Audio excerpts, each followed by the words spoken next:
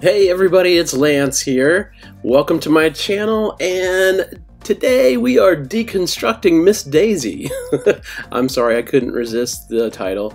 Um, we're doing a deconstructed bloom and I'm using uh, some Colourarte primary elements pigments and I mixed those with my untinted base and my triple thick polyurethane varnish and I really really loved how this color palette came out. And of course my base paint my pillow paint that I'm gonna move it all around with is the PPG house paint and all of my paints and cell activator and everything is in the description box. And as you're seeing here this is primary primary elements um, jasmine pigment and it is beautiful and sparkly and very very very vibrant. Um, love that color. And I think the next one is ginger peach and that is also beautiful. I mean you can really see it. I got a good close-up on it. Um, just beautiful rich color. And this color is Aurora and I love this color. It is so cool. It kind of blends the silvery kind of gray tones with a like peach undertone and kind of like a magenta undertone. So I thought it was perfect to use with the other colors. And I'm using two cell activators. I'm using titanium, Amsterdam titanium white and lamp black from Amsterdam with Aussie Floetrol. So those are my colors. Now, I also just wanted to remind everybody I am a Colourarte affiliate, and if you like what you see in my video and you want to try some Colourarte colors or pigments for yourself, you can go to the link that I'm going to provide in my description box and type in my code, which is Lance Travis 622 and you can get 20% off your entire purchase, and it helps me and my channel out a little bit as well.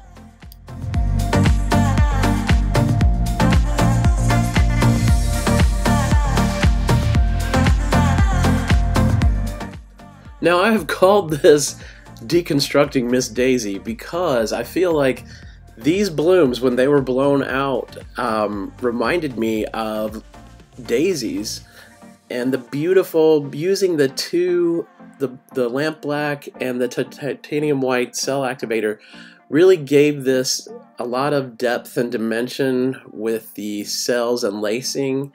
And it really created a sophisticated kind of blending of the colors. They're very beautiful and there is a lot of sparkle in there and I'll show you even a flyover of the dried result and even how sparkly it was even without any varnish or anything on it after it was dried but this the blending of these colors I really love what it does and how I feel like sophisticated and just kind of beautiful and there's almost like a muted kind of elegance to how these colors interacted with each other. I can't explain it, you'll see it later.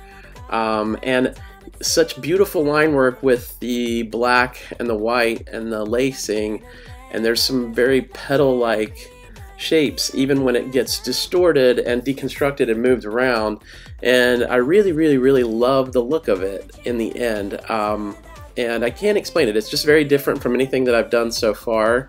Um, it's not quite as over the top with the colors, but I love these colors and the color palette, how it's very um, just, it has that kind of burnt sienna feel to the colors and very kind of warm tone, but just in a beautiful way. And I even like this blowout. This blowout was not traditionally the way I would blow out a bloom, but I decided I did not hate it and I decided to keep it. And it kind of works very well with the whole composition of the piece in the end. And I think I will take my valve. Yeah, actually, I did. I think I didn't show it there, but I took my valve and I blew out the white cell activator a little bit just to give it a few more cells in the center. And as you can see now, I'm doing the second bloom, and I'll take you in a little bit so you can kind of see these colors and I just love that Aurora color. It's just such a beautiful kind of silvery, and then some light it has, you know, warm, warm tones of color to it, and then also gives you that kind of silvery uh, feel as well. And I think the next color that I'm putting on there would be my Ginger Peach.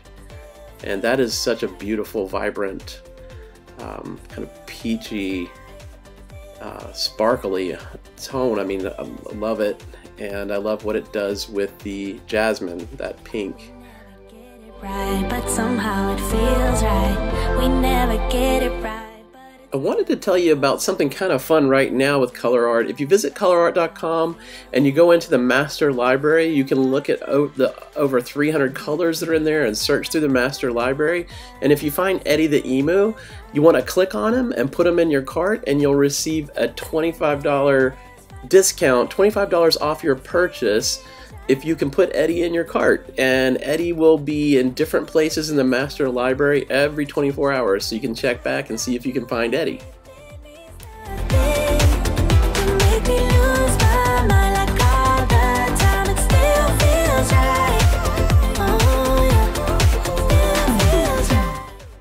Now, as you can see there, I'm finishing layering the bloom puddle here, and I've put on my black lamp black cell activator and my titanium Amsterdam titanium white cell activator and I liked them a little bit thicker. They're a little bit thicker. I might have even had my white a little too thick, but it still was fine. I, I still liked it in the end. It's just I would have maybe liked it to have moved a little easier, but it um, was good in the end because I feel like it held its shapes with the cells and being shadowed by the lamp black better because it was thicker. And even when it was being distorted or moved around I didn't lose quite as much um, shape in some areas uh, when trying to you know transform it and and trying to deconstruct it.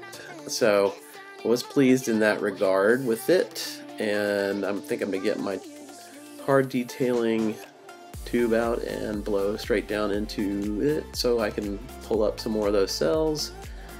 And then after we're done with this part of it, always remember you want to kind of let this collect and let the pressure release from blowing down into the cell activator when you do that. Um, you want everything to kind of rise up to the same level so that when you move it around nothing is sticking and getting too warped in some places.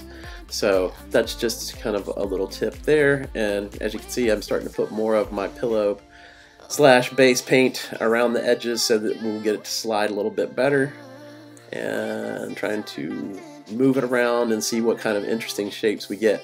I already really find what is there pretty interesting. So I knew I wasn't going to have to do too much and I didn't want to lose too much of the composition kind of the way it was already looking. There's some really cool things that I like on the, if you're looking at the bottom petal there, that almost look monarch butterfly like, like wing shaped, but also petal like, so it was giving me that kind of daisy feel, which is why I've come up with the my funny title, Deconstructing Miss Daisy, because there's Miss Daisy, and we're going to try to deconstruct her a little bit. So now I'm just kind of moving it around. Now I really did speed this up for the sake of making my video shorter, but also because this was pretty slow, slow going. I didn't want, like as you can see there, some part of my middle was not moving a little bit, so I was trying to kind of wait and maybe bring it back and see if if I waited just a little bit longer that would help release the center of the bloom there a little bit more and it's it's doing all right. So um, I, like I said, I'm speeding this up because it was a very slow kind of process. I didn't want to kind of rush moving these that much because I wanted to keep some integrity of the shapes and that's something that you really got to kind of remember because if you try to do this too fast you're going to lose maybe some of what you really love about the bloom itself when it's blown out. So just something to remember. It's all or nothing.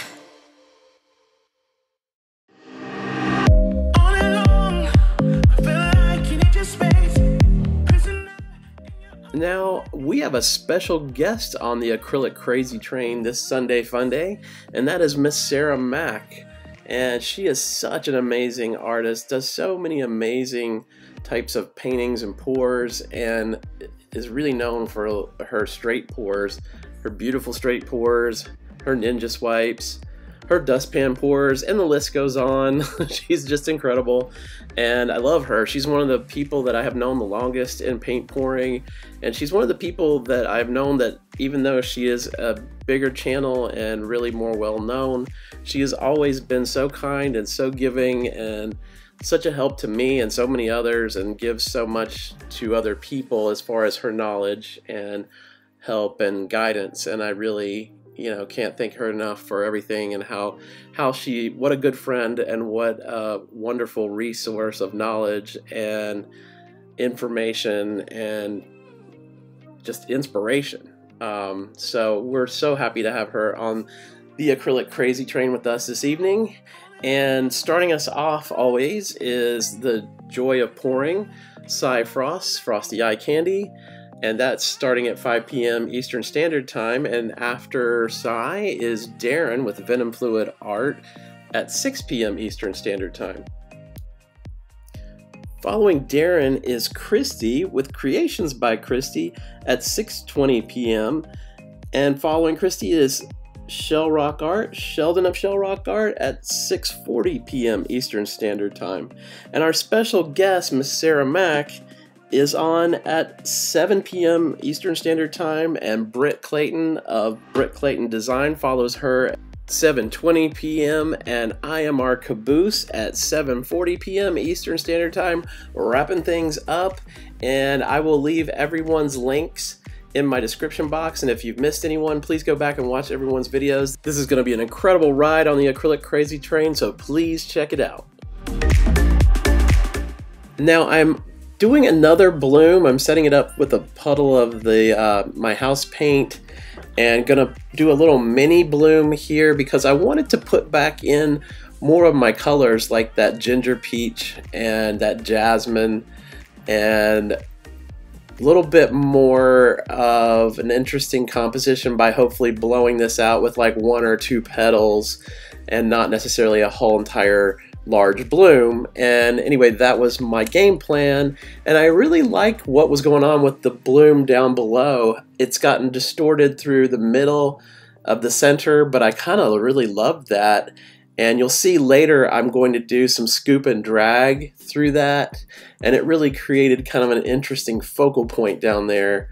And here I have blown it out and I have more black in there and typically I wouldn't like that, but I did some things here too, manipulating it and kind of using my glove and stuff to make some shapes within the black cell activator. And it kind of has almost like a bat-like shape to it that I really loved. And I almost considered calling this my vampire daisy because so many people had commented on this either looking like a spider or a bat up there, but I really love it. There's an elegance to the whole color palette that I talked about earlier. And here you see I was doing the scoop and drag through there also through the center and I didn't get to show you that because my camera uh, the storage was full and I had to clear out some things on my phone but here I'm doing the flyover and you can see these beautiful colors and the sparkle and just I love what it has done um, with the black and the white cell activator and the grayish kind of smoky tones that come through with the Aurora. That Aurora is such a beautiful color. And yeah, it's just, I think it created some stunning effects.